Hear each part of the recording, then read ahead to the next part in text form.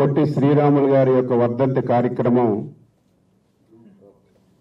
Telugu Desam party గారు పెద్దల రామయ్య గారు రాష్ట్ర నలుచెరగల నుంచి విచ్చేసినటువంటి వైశ్య సోదరి సోదరిమణులు పాత్రికేయ మిత్రులందరికీ పేరు పేరున హృదయపూర్వకమైనటువంటి నమస్కారాలు అభినందనలు తెలియజేస్తున్నాను.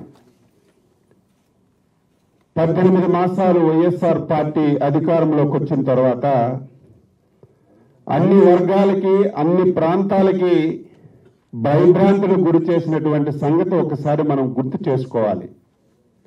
అందులో మన వయసు కమ్యూనిటీ అంటే వ్యాపారాలు చేసుకొని ఎవరు ఊసి వెత్తకుండా ఎవరి కార్యక్రమాలు వారు చేసుకొని జీవిస్తున్నటువంటి కమ్యూనిటీ వైస్ కమ్యూనిటీ. కొద్దిగా భయం కూడా ఉంటుంది. కానీ ఈరోజు ఈ దుర్మార్గుడు చేసినటువంటి భయానికి ఎదిరించి రాష్ట్ర నలు చెరగల నుంచి వచ్చినటువంటి వైశ్య కుటుంబ సభ్యులందరికీ రాష్ట్ర తెలుగుదేశం పార్టీ తరఫున సెల్యూట్ కొడుతున్నాను. ఈ సమావేశమే జగన్మోహన్ రెడ్డి పతనానికి నాంది కావాలని చెప్పి నేను కోరుతున్నాను. ఈరోజు అమరజీవి పొట్టి శ్రీరాములు. ఆంధ్ర రాష్ట్ర ఏర్పాటు గురించి. ఆ రోజు తెలుగు వాళ్ళు ఉమ్మడి ఆంధ్రప్రదేశ్ రాష్ట్రం మద్రాసులో ఉండేటప్పుడు ఎన్నో అవమానాలకి గురైనటువంటి సందర్భంలో మా తెలుగు మాట్లాడినటువంటి వ్యక్తులకు ఒక రాష్ట్రం ఉండాలని యాజిటేషన్ చేసినటువంటి సంగతిని మనం గుర్తు చేసుకుందాం. యాజిటేషన్ చేసినా సరే ఆ రోజునటువంటి ప్రభుత్వాలు పట్టించుకోకపోతే నా ప్రాణం పోయినా పర్వాలేదని నిరాహార దీక్ష చేసి ఆ రోజున్నటువంటి ప్రభుత్వాలు మెడలు ఉంచి ఆంధ్ర అందరం కూడా ఒకసారి గుర్తు చేసుకోవాలి. వైశ్య కమ్యూనిటీకి తెలుగుదేశం పార్టీకి ఉన్నటువంటి అవినాభావ సంబంధం ఈ రోజుది కాదు.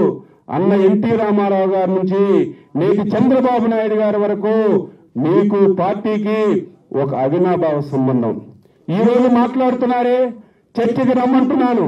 ఎనభై రెండు నుంచి తెలుగుదేశం పార్టీ రాష్ట్రంలో వచ్చిన తర్వాత ఒక గౌరవం గుర్తింపు వయసులకు వచ్చిందంటే అది తెలుగుదేశం పార్టీతో వచ్చింది. ఒకసారి గతాన్ని గుర్తు చేసుకోండి.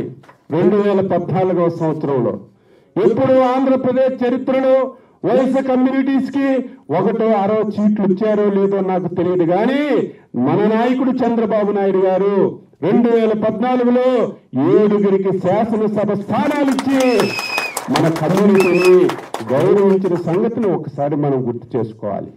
మళ్ళీ నిన్న ఎలక్షన్లలో కూడా ముగ్గురికి ఎమ్మెల్యే సీట్లు ఇచ్చాం.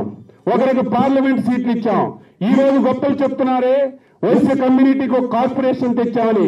మీరేం తెచ్చారు? అది బీజం వేసి వైశ్యులకు ఒక కార్పొరేషన్ ఏర్పాటు చేసేటువంటి ఘనత మన నాయకులు చంద్రబాబు నాయుడు గారు.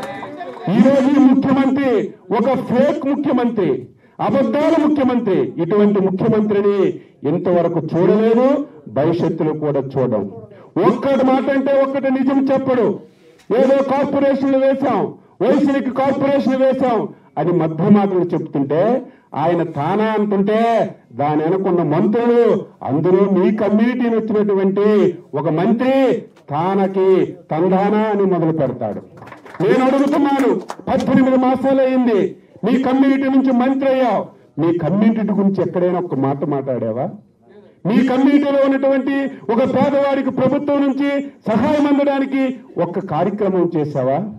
నీకు చేత కాకపోతే మేమంతా కలిసి ప్రభుత్వంపై ఒత్తిడి తెచ్చి మన కమ్యూనిటీలో వాళ్ళకి న్యాయం చేస్తామని ఒక సమావేశం పెట్టుకుంటే ఈ దద్దమ్మ మంత్రి భయపడి సమావేశం జరగకుండా చేసినటువంటి వ్యక్తి మన కులంలో ఒక మంత్రిగా ఉండడం మన దౌర్భాగ్యం అని చెప్పి మీ అందరికీ తెలియజేస్తున్నాను.